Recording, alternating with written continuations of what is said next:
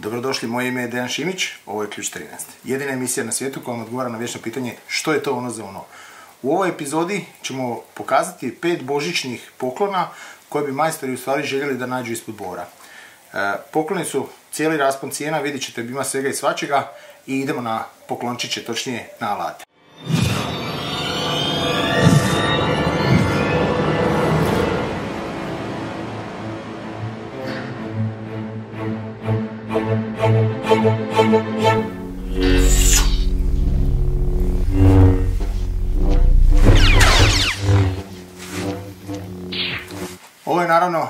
Jedan od poklona. Radi se o japanskoj pili Orijiji što bi rekli. Znači prava pracata japanska pila. E, mi imamo inače japanske pile u studiju i koristimo ih, međutim ova nam je upala u oko što kažu zato što ima nešto što ove druge sve nemaju. E, nije samo što je ova čelična konstrukcija gore pojačana, jer ovo je oblik takozvani duzuki, međutim radi se o nečemu vrlo, vrlo bitnome, a to je ova ima nevjerovatno tanak rez. Znači, ako budete vidjeli na pisačima, ako se ne vara 0,33 mm vam je debljina reza ove pile. Fantastična za svakoga ko radi sa punim drvetom. Naš, naša preporuka za božićni poklon. Jedan od uvijek dobrih poklona za sve majstore, pogotovo ako radi nešto sa drvetom, je klasična stega. Međutim, e, stege su evoluirale, normalno i napravljene su bolji modeli, e, pametniji modeli, bolje rade, jače stisnu, lakše su za postavljanje i sve. I ovo je jedan od tih primjera i u našim emisijama ste mogli vidjeti vrlo često da mi to koristimo, takvu stegu. Ovo se zove klik-klak stege ili klik-klamp, kako ih zove Besej. Znači, iz stega ima ovaj princip, znači da sa jednim prstićem ovo napravite i ona drži korak. E, Prednost stege nije samo u tome što vrlo lagano se zateže, znači što se brzo postavlja, brzo se otpušta, međutim je prednost glavna u tome što je izuzetno lagana stega. Znači ovo nije metalna čelična stega iako izgleda ovako, jer ova dva materijala ovdje su magnezi, ovo je jako, jako lagan materijal, teža je ova šipka nego ovo sve ostalo zajedno. Znači tolika je razlika fenomenalan poklon za nekoga ko radi puno sa drvetom ili ako ste hobista i želite malo bolje stege imati ili ove stege imaju još jednu osobinu, a to je kada stežu neće pomjeriti materijal. Znači dok ručna stega i ove klasične našarafanje u onom momentu kad vi stežete ono vrlo često pomaknu materijal, znači pobjegne vam u dimenzije, u ovoj situaciji ne, zbog toga su genijalne stege. E napomena, nisu za bravare, jer postoji verzija da je ovo metalno i onda može ići za bravara. Ova verzija nije, ovo je više za stolara. Svi mi hovisti uvijek trebamo kutnu brusilicu. Znači kutna brusilica, ne možete izbjeći jednostavno, nema radi one bez kutne brusilice. I kutne brusilice vrlo često ljudi kupuju one najveće drloge, one jeftine, one što ne vrijede ništa, što se zapale na drugo, drugo brušanje i to je najveći problem. Međutim, postoje profesionalne brusilice kutne koje su namijenjene za taj cjenovni rang, ali imaju sve performanse pravilne onih pravih profesionalnih brusilica. Ovo je jedan od tih primjera. Znači ovo je Hitachieva kutna brusilica, 3 godine garancije, pravih 3 godine garancije. 125-ica 600 vati, cijena je fantastična, vidjet ćete da cijena nije uopće neka izuzetno visoka, stvarno je jako povoljna. Međutim, nije samo ovo što ćete dobiti ovu kutnu brusilicu, nego ćete uz brusilicu dobiti najnoviji album Mate Miše Kovača, znači dijamantnu reznu ploču za rezanje betona, koja sama po sebi vam vrijedi jednu trećinu te cijene. Znači već ovo nosi jedan dio cijene. Tako da ste dobili profesionalni alat, čak ste dobili profesionalni pribor za izuzetno male novce. Uh, ovako, ovo je jedan od poklona kao što žene imaju problema sa cipelama, točnije kad prolaze pored radnje sa cipelama moraju stati, moraju vidjeti, tako mi muškarci kad vidimo led diode, led svjetiljke, mi moramo vidjeti šta je tu, šta je, jel to ima neka dobra i tak dalje. E, ovo je jedan od e, odličnih profesionalnih stvari svjetiljke, nije to, nije toliko hobi koliko je profesionalno, jer sad ćete vidjeti šta sve može raditi pa će vam biti jasno zašto je profesionalna. Znači, mala, ručna, džepna svjetiljka, znači imamo svjetlo dosta jako, koje baca, međutim ima neke prednosti, neke fore i cake. Ima magnet, znači da možemo staviti na nekakav metal dok radimo da nam drži da, nam svijetli. Ima, ako čarafimo, izbacimo, tu je punjenje baterije. Znači možete staviti baterije da vam radi. Međutim, uz nju dobivate ovako nešto čudno. I to sad kad stavimo nazad unutra, zašarafimo, vratimo nazad prekidač ili ti svjetlo, ovim e, sklop s kojom se pali, mi dobijemo i dalje ledicu.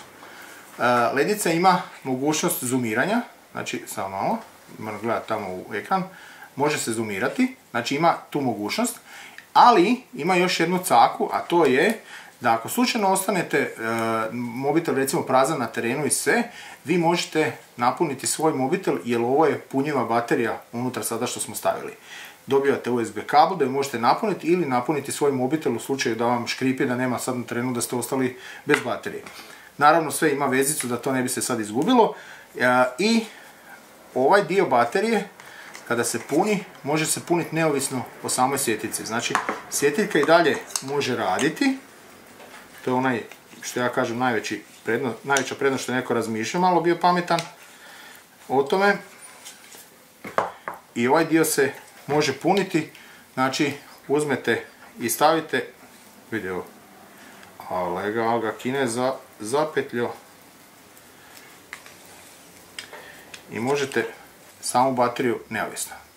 Izuzetno dobar poklon. Kao što vidite, ovo su koferi normalno.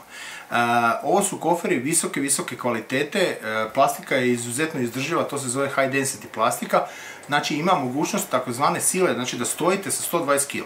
Konkretno ja sam 120 kg vidit ćete, kad ja stojim ništa se ne dešava sa koferom, bez problema izdrži šta god treba.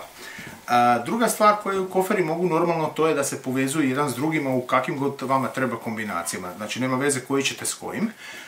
Svaki od kofera ima na sebi takozvani V-utor. V-utor vam je napravljen zbog toga da ako treba možete staviti nekakav metal, nekakvu dasku, stisniti nogom i na brzinu odrezati na terenu bez da imate sad nekakav radni stol i tako dalje.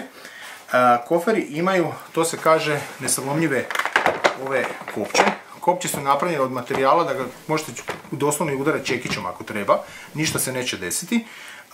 I izuzetno dobri i svi koferi vam imaju ovo crveno, točnije to je vodonepropusna brtva. Znači ako su blatnjavi ili ne znam ja šta, ne morate izvoditi alat da bi oprali kofer, slobodno za, samo zatvorite kofer, uzmite mini voš i operite ga. Odličan poklon, postoji u više kombinacija, znači postoji kombinacija gdje je takozvani 20 litara, imate 35 i 45. To je izuzetno veliki kofer, znači volumenski jako, jako puno alata može stati, međutim sve pokazujemo zato što ima još jedan mali koferčić, točnije jedna posuda koju možete kombinirati s ovim. Radi se o ovakvoj posudi. Ova posuda konkretno ima pregrade koje se mogu izvaditi. Može biti s ne mora, možete razdijeliti. E, inače je prvenstveno namijenjena za nekoga ko radi, da drži repromaterijal, da drži šarafe unutra, nešto što ide sad instalirati, ne znam, pumpu od mašine i tako dalje. Znači da može držati u ovoj posudi dok ne dođe tamo na to mjesto gdje radi. E, ono što ja recimo radim s ovom posudom, držam ju u gepeku od svog osobnog automobila i tamo većinom stavljam staklene boce unutra kada se vraćam iz shoppinga. Zato što ako se i nešto desi da se ona razbije, ovo je 20 litarska posuda, sve će ostati unutra i nemam problema s time da cijeli gepek pliva od, od neke razbijene tegle. E, genijalan poklon, isto je napravljen od ovakve plastike, znači takozvane nesalomljive, da neko ne misli da se to ne može sad slomiti, da može bacati, skakati ili ne znam ja šta, uvijek se nađe genijalac koji slomi, vjerujte mi na riječ. Međutim, pošto se ona isto tako može kombinirati, vi nju možete kombinirati sa postojećim koferom. Znači, stavite i nosite sve zajedno. To je u stvari najveća prednost ovog sistema, što ne morate danas kupiti sve, možete kupiti jedan. Kada vidite da vam se posao proširio, da imate potrebe za nečim drugim, možete kupiti neki od onih tamo kofera ili kupiti dvije posude, možda vam više treba posuda. I vidjet ćete cijenovnom razredu da su izuzetno povoljni koferi, izuzetno kvalitetni, izuzetno izdrživi, fenomenalni koferi za svakoga ko jako puno ide po terenu. Studio, muzika.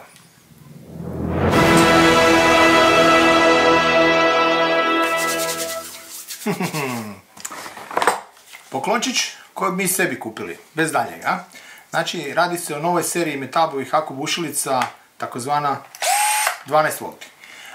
ovaj komplet koji ćete vidjeti, to je komplet gdje dobijete bušilicu, znači koji se skida glava ako, ima, ako imate tako, takve poslove, znači ako posao zahtjeva to možete skinuti glavu, automatski opet prihvati jedna četvrtina, znači za bic. Bušilica ima dvije brzine, moment za tezanja, korekciju i tako dalje. I dobijate impakticu, znači koja šarafa, kao što ste mogli vidjeti kao i ona prethodna serija prije nje, što šarafa, šarafe bez obzira šta stavite pred nju. Znači, to je odličan alat. Međutim, za onoga ko bude sad gledao pa kaže 12 V 10,8 vamo tamo, Makita ima ovo, ovaj Bosch ima ono i tako dalje, sve što piše 10.8 je 12 V, sve što piše 12 je u stvari 10.8. To je samo marketinški trik, nemojte se zamarat glavicu, nemojte razbijati ovaj, moždane vijuge, to je samo marketinški trik. Međutim, zašto odvajamo ovu bušilicu i zašto vam pokazujemo, nije samo caka zašto je to sad neki novi model i tako dalje, nego zato što je Metabo napravio nešto izuzetno pametno. Znači, prvo, promijenio je oblik baterije. Ako se neko sjeća, Metabove ili Makitine ili Boschove baterije su sve izgledale ovako. Znači, sve su do sada izgledale ovako. I vi ste morali kupiti skupu bateriju da dobijete ovaj oblik. Znači, da bi dobili ovaj oblik, morali ste uzeti skuplji model. Zašto? Zato što ovo je, ovo je zgodno kad stavite bušilicu, ona ostane ravno stajati.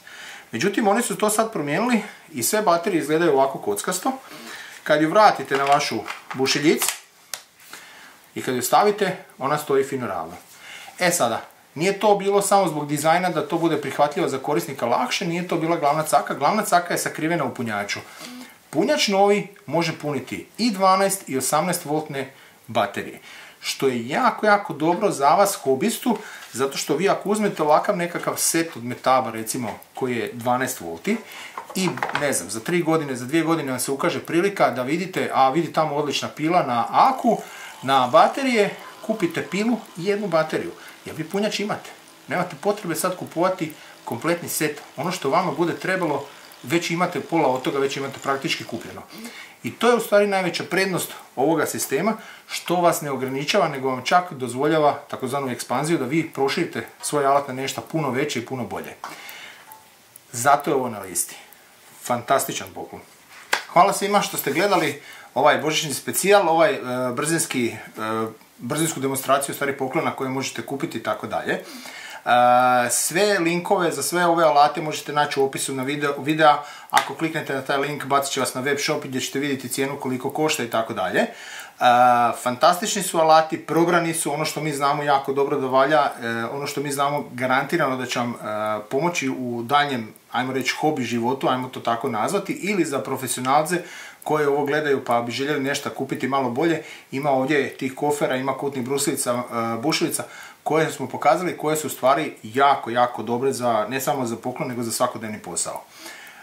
Hvala svima, za one koji prvi puta ovo gledaju, dole vam je onaj subscribe ili ti pretplati se, kliknete, imate onaj zvončić, ako kliknete na zvončić, to znači da ćete dobiti e-mail da je emisija izašla na internet. Hvala svima, naravno da postoje socijalne mreže i mi smo socijalni neki tipovi, ima, možete nas pratiti kako god hoćete, možete nas kontaktirati. Molim samo da nas ne kontaktirate preko starog Facebook računa, jer taj, ja ne znam zašto, e, ne javlja nam uopće da ste ostavili poruku i onda mi imamo problema. E, vaše poruke vidimo nakon 7 dana i tako dalje. Pa vas molim, pokazat ću kako izgleda ta stranica da vidite, nemojte nas preko nje. Evo, to je bilo sve od nas, hvala, sretan čestit Božić svima koji slave i doviđenja.